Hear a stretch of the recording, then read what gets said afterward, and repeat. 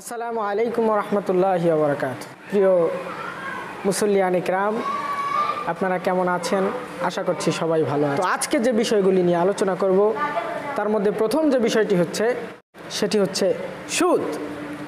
সুদ আসলে এমন একটা জিনিস, যেটা মানুষের আমলকে ধ্বংস করে, মানুষের সকল প্রকার ভালো কাজকে নষ্ট করে দেয়। এই সুদ খাওয়া যাবে না।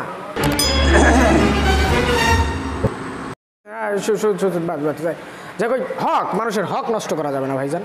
কারও হক কখনো নষ্ট করা যাবে না।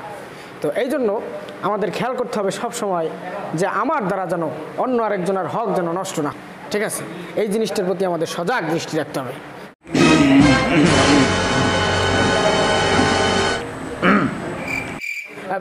হজ হজ হজ হজ।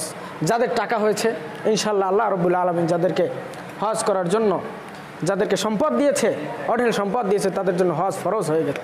কিন্তু আমাদের হজ ফরজ হওয়া সত্ত্বেও আমাদের মধ্যে এমনও মানুষ আছে যারা হজ করতে যায় না।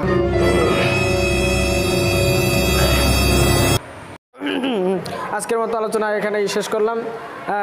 আগামী জুমায় ইনশাল্লাহ আবার এই বিষয়ে আলোচনা হবে। আর এখন পর্যন্ত যে বিষয়গুলো নিয়ে আলোচনা হবে আল্লাহ আমাদেরকে এর উপর আমল করার মতো তৌফিক দান করুন সকলে আমি এখন মসজিদে কে দান করবেন? হাতে বের করেন, মসজিদে কে কে দান করবেন? হ্যাঁ আমি দেবো পাঁচশো টাকা। পাঁচশো। আলহামদুলিল্লাহ পাঁচশো। হ্যাঁ হ্যাঁ। খান সাহেব পাঁচশো টাকা খান সাহেব পাঁচশো টাকা খান সাহেব পাঁচশো টাকা। মাশাআল্লাহ। হ্যাঁ খান সাহেব পাঁচশো টাকা আর কে দিবেন? হাজার এই এই আমার এক হাজার এই এই আচ্ছা। হ্যাঁ চৌধুরী সাহেব এক হাজার টাকা। চৌধুরী সাহেব এক হাজার টাকা এক হাজার টাকা চৌধুরী সাহেব এক হাজার টাকা। হ্যাঁ আর কে দিবেন আর কে দিবেন? আর কে? হ্যাঁ বের করেন বের করেন ভাই বের করেন। আমি দেবো আমি দেবো দুই হাজার আমি দেবো আমি তুমি দুই হাজার। এই দুই হাজার, এই দুই হাজার, এই দুই হাজার। এই এই এই এই দুই হাজার আমি তুমি দুই হাজার, এই দুই হাজার, এই দুই হাজার তুমি দুই হাজার। এই এই দুই হাজার, এই, হুজুর, এই দুই হাজার না।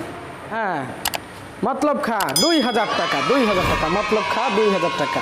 মাশাআল্লাহ, আল্লাহ তাদের এই দানকে কবুল মঞ্জুর করুক, সকলে বলি আমিন।